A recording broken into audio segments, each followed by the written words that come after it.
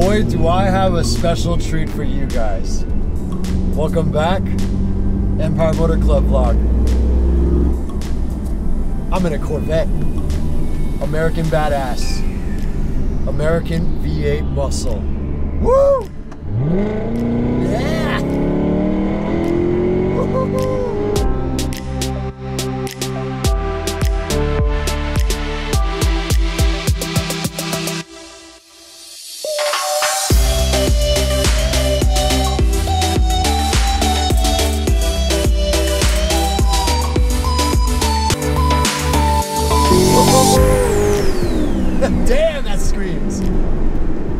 love American muscle. What a treat it is to be in a C7 Z51 Corvette driving around the Taiwan coastline. Wow. Beautiful day, beautiful car. First, I want to give a special shout out to Michael Yang of Autoholics Racing in Taiwan. They distribute the UK brand Alcon Brakes under the company Autoholics, which they also distribute a bunch of uh, wax and detailing products. And today I am driving Michael's car. I told him, hey, give me the car for the morning. I'm gonna put it in the vlog. I love all cars. As you guys know, I love JDM, I love Euro, I love supercars, Italians, British, but I have a soft spot for American muscle. A couple years ago, I had a project called Heihu Black Tiger. It was a 2012 Dodge Challenger SRT8, the 6.4 liter Hemi engine. I Liberty walked that shit.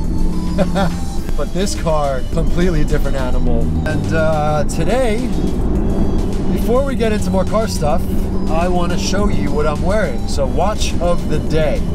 Right here, this is the watch of the day. It is an AP 15305 ST. It is an open work skeleton. It is not the newest double balanced open work skeleton. It is the discontinued 39 millimeter open work skeleton. There's a new 41 millimeter open work skeleton, and that is a little bit bigger, obviously 41 versus the 39, but I prefer the 39. Of course, I would want to have the double balanced open work skeleton, but there's something charming about the 39 millimeter and it fits right on the wrist. You know, it, it's kind of like this Corvette. It's badass. Everyone knows what it is. It's not the newest, but it's not an older version. And I think it's just right. Um, obviously, there's always going to be newer and better, but sometimes you just got to appreciate what you have. I really love it. It's kind of like my everyday go-to watch now. Hope you guys enjoy uh, talking watches with me. And what I noticed about this car is that it's got a mode select. So it's got a wet mode, eco mode, touring mode, and sport mode, and a track mode. We will put it in the track mode so you guys can hear how bad this badass sounds. What an American badass! Woohoo! Yeah!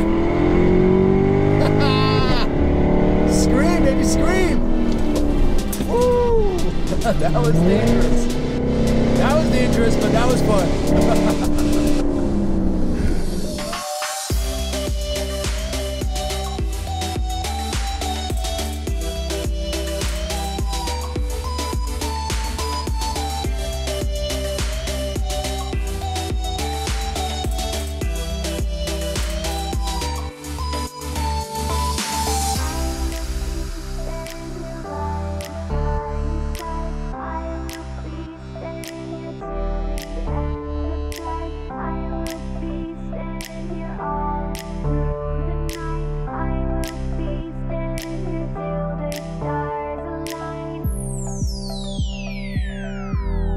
So we just got to my favorite spot. We got the top down. It feels really good.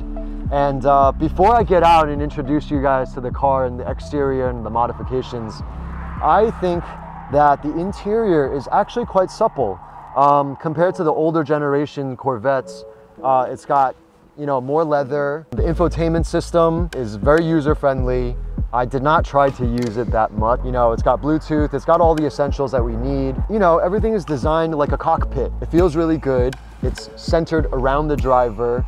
The seats are really comfortable. The only thing is that because I'm taller, I'm six foot two, I'm 188, the visors kind of get in the way when I'm driving when the top's down. So for it to look good, kind of push it down, but If it leaves, if I leave it up, it looks kind of weird. It's really not that important. What's cool is this. This is fucking cool, especially on a nice day. Let's pop the hood and let's check it out. So this Z51 Stingray Corvette is a 6.2 liter V8, eight cylinder, seven speed. It's got 455 horsepower and 460 pounds of torque. Now, as you can see, if you guys come around here, he has installed an AFE carbon fiber intake this is huge. I can see the air filter right here. And he's also got a Corsa X pipe and the Corsa rear section with quad exhaust tips. That's why it sounds so badass. Let me close the hood so we can take you around the back. As you can see, Arctech front carbon fiber splitter. This is real carbon fiber. This is really cool.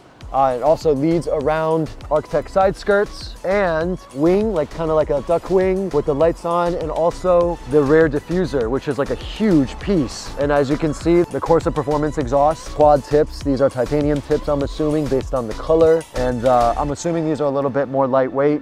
So what he did with this Corvette, I really, really like, is he used Alcon RC6 brake calipers and 400 millimeter rotors in the front and RC4 caliper 380 millimeter rotors in the rear. And what I like about this setup is that it's not the conventional brake system that you think would happen on a Corvette.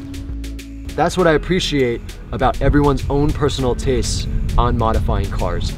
It's about your own personal preference and what you like, and that is the most important, whatever makes you happy. So I think it's really cool to see some Alcon brakes on a Corvette.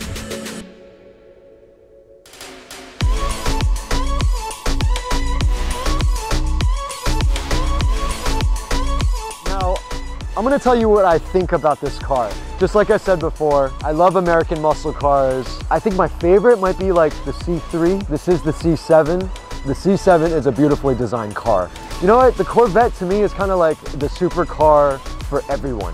The Corvette is priced very favorably. I mean, this is something that's very, very fast and it's a sports car. It's got a Targa top and it reminds me of my own Nissan GTR. They're both kind of like the everyday supercar, but they're not exactly a real supercar. They're not like the Italians or, you know, the British supercars, but for an American car, it's really badass. And the GTR for a Japanese car, it's super badass.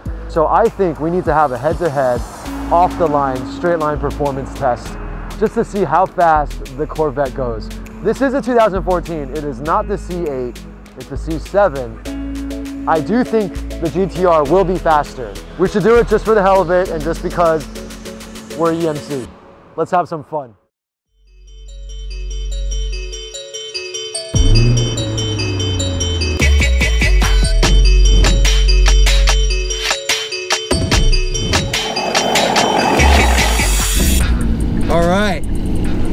So I am in all R mode and uh, we got a buddy in the car on the Corvette and uh, we're gonna see how it goes.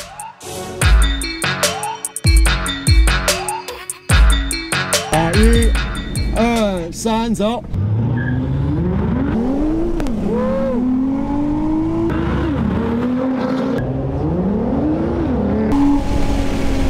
Damn, that was pretty fun. this is a four-wheel drive. It's got like 100 horsepower more. Uh, it's probably a little heavier than the Corvette. However, that car is still an amazing car. So let's do it one more time for you guys.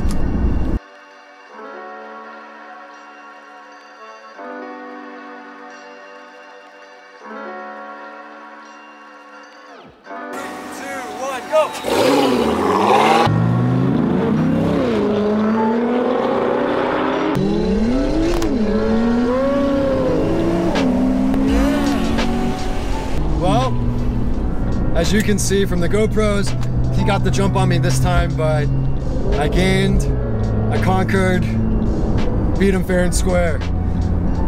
Hey, GTR is a GTR for a reason. I respect everyone's modifications, everything that you guys do to your own cars.